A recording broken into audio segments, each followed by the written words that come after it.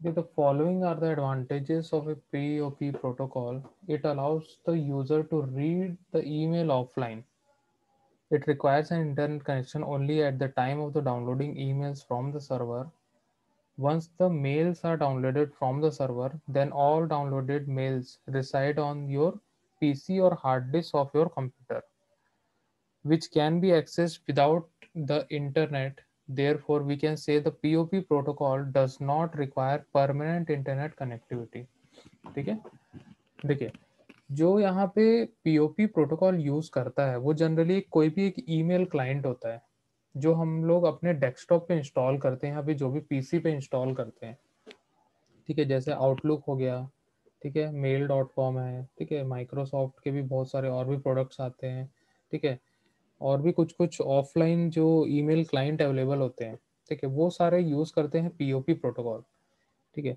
POP protocol का फ़ायदा ये है कि यहाँ पे हम लोग जो ईमेल्स जो हम लोग रिसीव करते हैं, ठीक है, हम लोग एक सिंगल टाइम पे कनेक्टिविटी देते हैं और इंटरनेट से वो क्या करता है मेल सर्वर के सारे के सारे ईमेल को सिंक्रोनाइज करता है और उसको हम लोग ऑफलाइन कभी भी उसको देख सकते हैं। मतलब मान के चलिए अगर जैसे कि कोई भी एक ईमेल आया है, उसमें सौ डेढ़ सौ एम की फाइल्स है, ठीक है? सबको डाउनलोड करके रख लेगा। और हम लोग उसको कभी भी ऑफलाइन देख सकते हैं।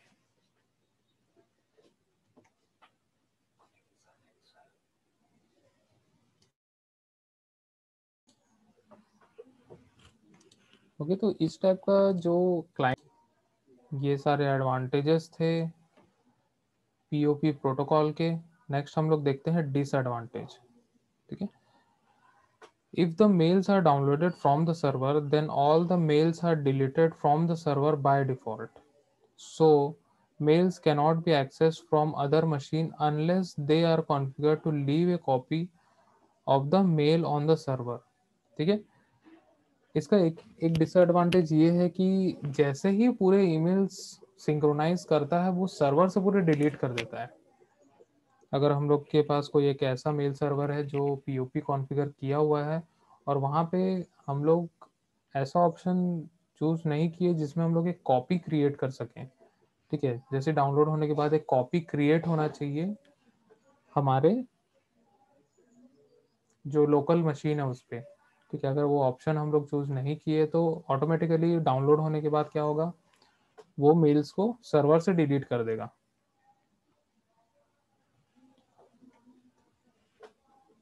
सेकेंड पॉइंट है transferring the mail folder from the local machine to another machine can be difficult ठीक है मेल फोल्डर को ट्रांसफ़र करना बहुत मुश्किल होता है क्योंकि बहुत सारी आईडीज और इस टाइप का कॉन्फ़िगरेशन किया जाता है, जिससे वो कुछ एनक्रिप्शन वगैरह का फॉर्मेट उसमें लगाया जाता है। ठीक है, जिसके थ्रू हम लोग लोकल मशीन से सेव नहीं कर सकते हैं।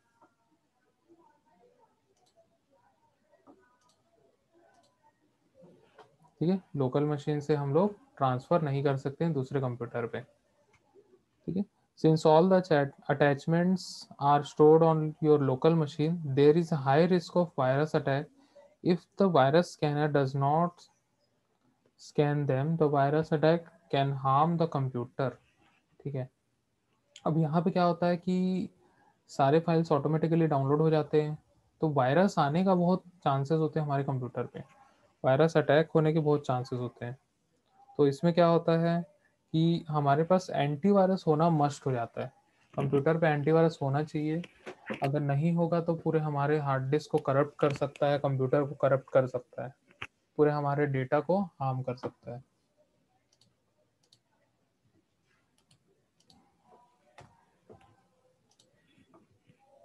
नेक्स्ट आता है the email folder which is downloaded from the mail server can also become corrupted ठीक है ईमेल फोल्डर जो हमारा डाउनलोडेड हुआ है, ठीक है, जो मेल सर्वर से वो भी करप्ट हो सकता है। The mails are stored on the local machine so anyone who sits on your machine can access the email folder ठीक है मेल्स तो लोकल मशीन में स्टोर है। अगर हमारे अलावा कोई और भी उस सिस्टम को एक्सेस करता है तो वो भी एक्सेस कर सकता है उस ईमेल फोल्डर को। और उसमें हो सकता है कुछ फाइल्स को डिलीट कर दे, कुछ मैनिपुलेशन कर दे, कुछ चेंजेस कर दे, ठीक है, या कॉपी करके रख ले, ठीक है, कुछ भी हो सकता है। तो ये सारे डिसएडवांटेजेस है, ठीक है लोकल मशीन पे इसीलिए बहुत सारे जो ईमेल्स होते हैं, जो कॉन्फिडेंशियल होते हैं, वो सारे वेब पे चलाए जाते हैं, ताकि लोकल लोकल मशीन में वो स्टोर ना हो और कोई भी उसमें हम लोग को हार्म ना पहुँचे। तो ये थे एडवांटेजेस और डिसएडवांटेजेस पीओपी थ्री प्रोटोकॉल के।